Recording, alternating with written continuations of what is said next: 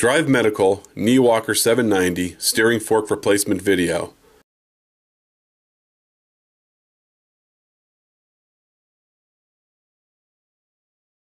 Tools needed adjustable wrench, 6mm hex key.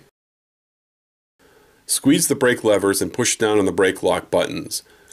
This will help prevent excessive movement during assembly.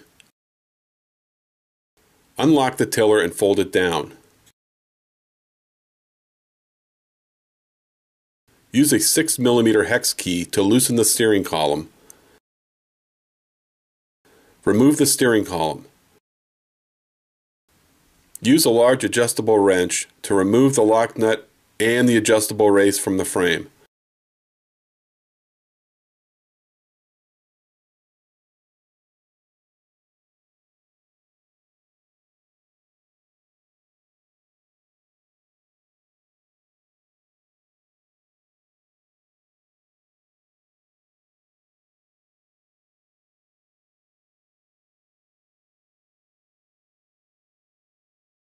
Remove the steering fork from the frame. Make sure you keep the bearing rings. Remove the bearing ring from the steering fork. Use a 6mm hex key to remove both wheels from the steering fork.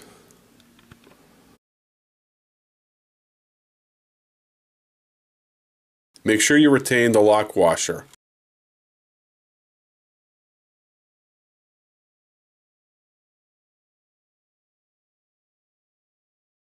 Install both wheels onto the new steering fork.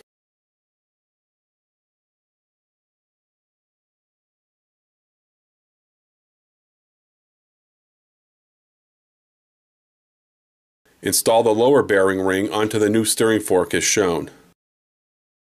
Make sure you install the bearing ring bearing side up.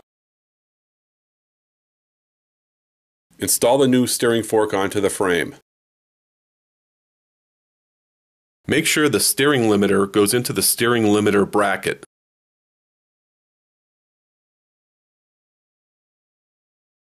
Reinstall the adjustable race and the lock nut onto the frame.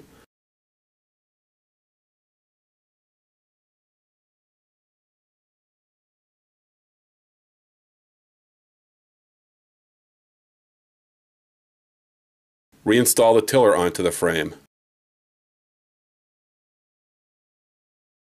Make sure the arrow on the frame lines up with the arrow on the steering column. Use a 6mm hex key to tighten the steering column locking bolt.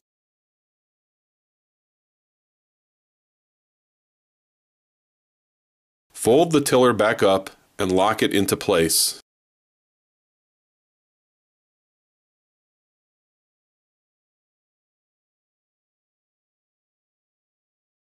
For more information, visit us online at www.drivemedical.com or you can reach us at 877 224 0946.